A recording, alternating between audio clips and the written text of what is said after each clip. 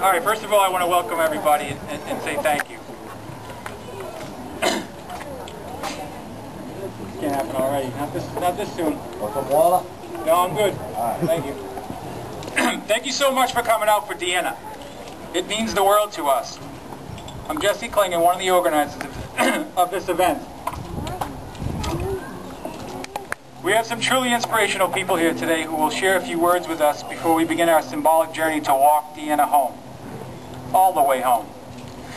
Before turning the mic over, we wanted to send out a very heartfelt thank you to the City of Somerville, Mayor Curtatone, his office, uh, specifically Nancy Alward in the mayor's office, and also the Auxiliary Police Chief Jerry Cavallo, and the Auxiliary Police for donating their time today to give us a nice, safe escort as we walk Deanna home.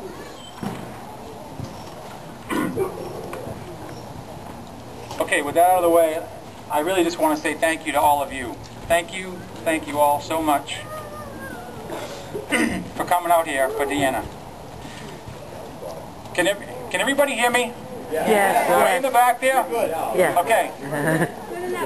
All right, so, so let's get this started. Uh, first, we're going to have uh, we're going to welcome uh, Evangelista Jillian Galenas, who will start us off with a word of prayer. Okay? All right.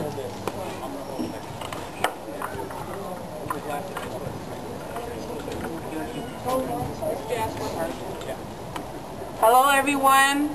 God bless everyone. I just want to open this up in a prayer. Uh, in the Mass with Psalms 23, and we know that in Psalms 23 it says, No weapon formed against us shall prosper. Now is the year that we need to walk Deanna home. Now is the year that we will have someone come and confess for what they did, or for someone who knows something, come and confess.